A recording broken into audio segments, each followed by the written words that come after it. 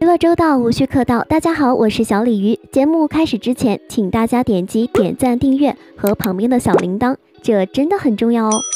我最深爱的人伤我却是最深，进退我无权选择，紧紧关上心门。这首《最爱的人伤我太深》让张雨生带红张惠妹的同时，也成了张惠妹情感方面的真实写照。曾经的恩爱。最终却成了伤己最深的那个人。张惠妹虽曾为乐坛一姐，以豪迈的歌声吸引了一大批粉丝，但背后却隐藏着被富豪勒索、被小鲜肉劈腿，最终爱上小六岁调酒师，却婚姻沉迷的故事。让我们来了解一下张惠妹的情感经历。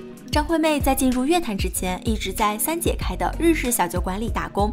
小酒馆虽不算大，但规矩纪全有严。员工必须穿黑花及膝的旗袍上班。到了特殊节假日，他们便穿上传统服装，站在街头招揽顾客。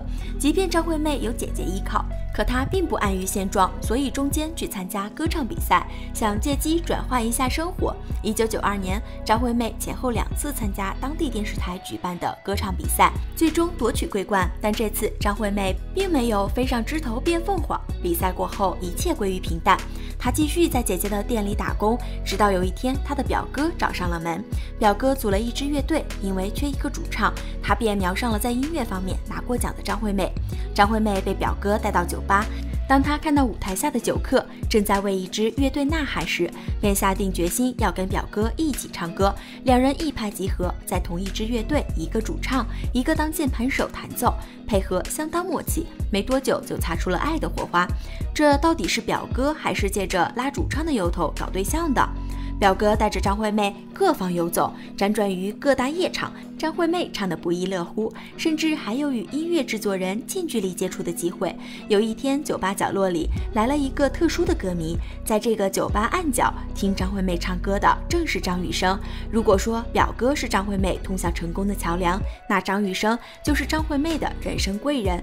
如果没有张雨生，就没有后来星光熠熠的张惠妹。当然，张雨生来酒吧听张惠妹唱歌也是有原因的。那时候，张惠妹和表哥携手征战各大夜场，在业内混出了一些名气。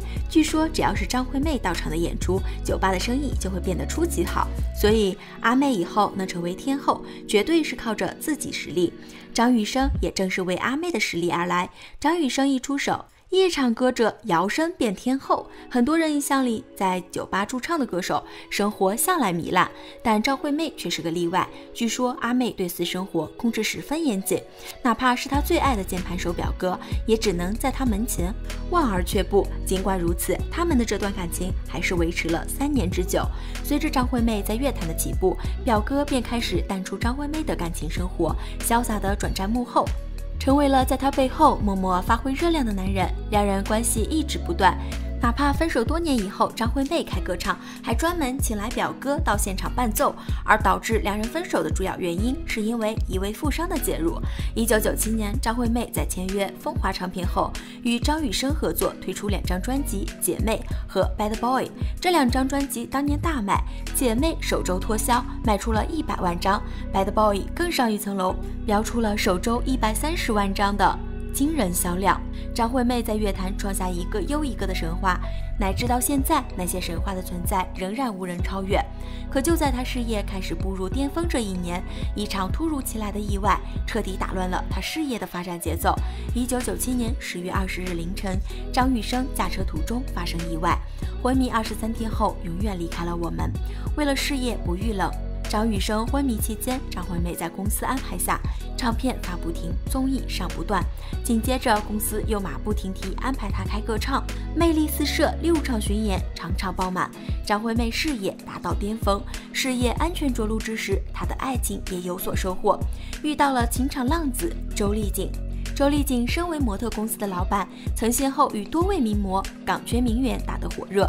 有媒体曾这样开玩笑称，周丽景收割女伴有如走马观灯，她因此得名追女之王。周丽景追求张惠妹可谓是下足了功夫，因为负责演唱会新加坡专场，周丽景借机接近女神，豪挥两千五百万为阿妹撑场。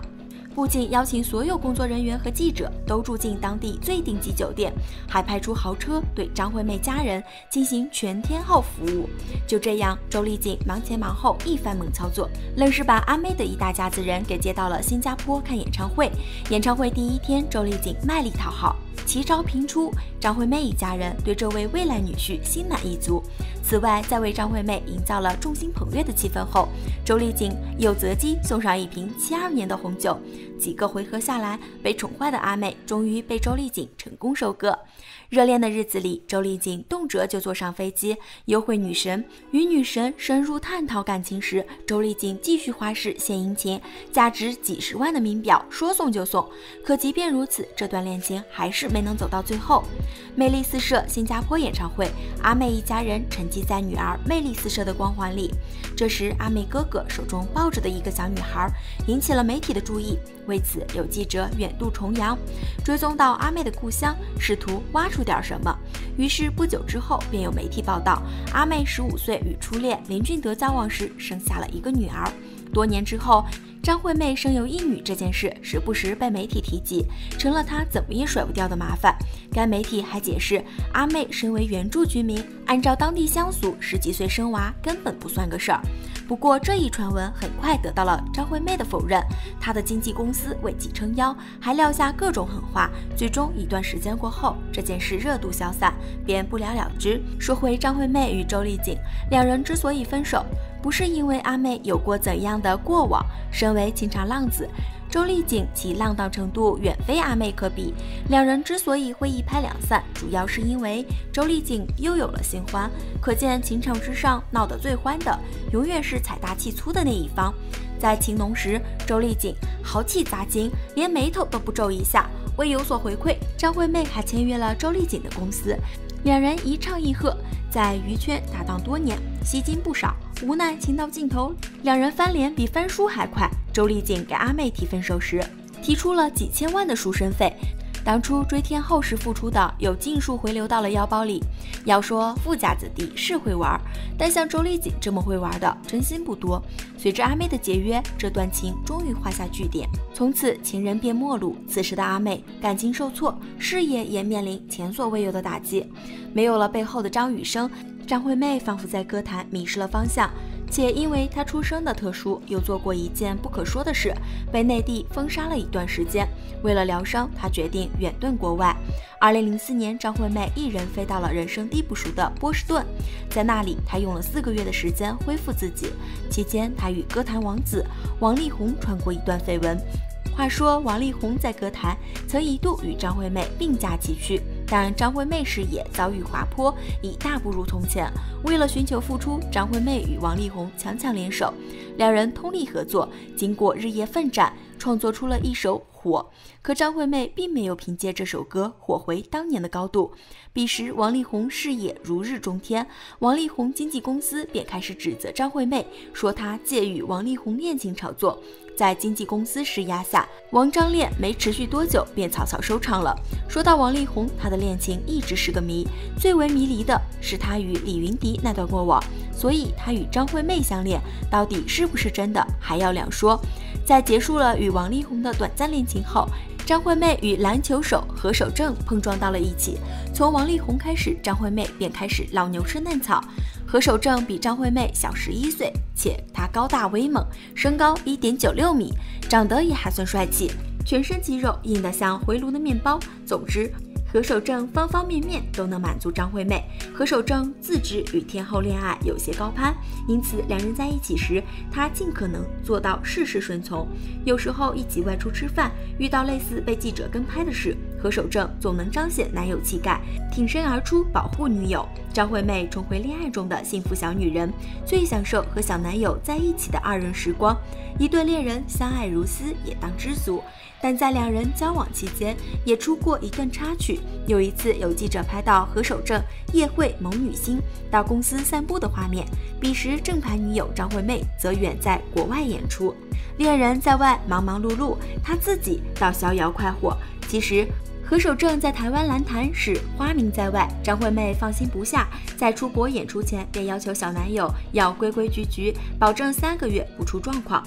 这让惯于沾花惹草的何守正百般煎熬。因此，趁着阿妹不在，搞小动作并不意外。意外的是，张惠妹对此反应很低调，她隐忍不发，选择包容爱的卑微。其实，这种付出是留不住一个花心男的。二零一零年四月，两人正式宣告分手，原因是何守正带辣妹去宾馆被媒体拍到。一代天后情路如此坎坷，落得遍体鳞伤。以后的时光里，他还有没有勇气去爱？爱情来了，很容易让人忘记曾经的伤痛。被爱伤过，伤疤还未愈合，又再次陷入了爱的漩涡。这次张惠妹到了为爱痴狂的地步。与何守正分手之后一年，张惠妹在爱的转角处遇到了圈外的姚小健。姚小健是一名调酒师，在酒吧担任店长。他调酒技术高超，长相也比较帅气。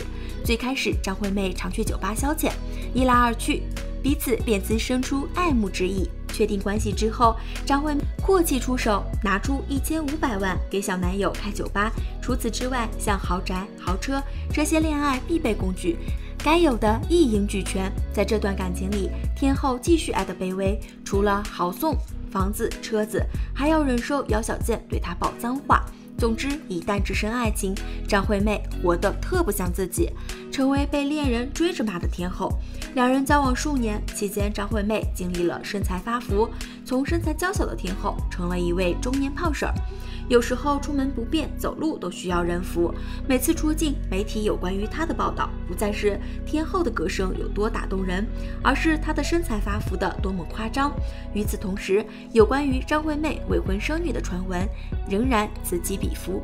不过，即便身材严重走样，她又有着怎样的不堪过往？但谈恋爱却照谈不误。两人虽然经历波折，但关系却越来越牢固。所以这次阿妹是遇到了真爱。也许这个世界上本不存在所谓的真情。如果阿妹没有天后光环，这段情还能否长长久久，也难说得很。毕竟他们相恋十年，至今没有结婚。平常人谈恋爱，正因为没有任何光环加持，反而走得越发平稳。而富有的明星谈一场恋爱，却被赋予不一样的含义。也许这正是张惠妹在爱情中疲惫的原因吧。也许对于张惠妹而言，感情中卑微才算是真正爱过。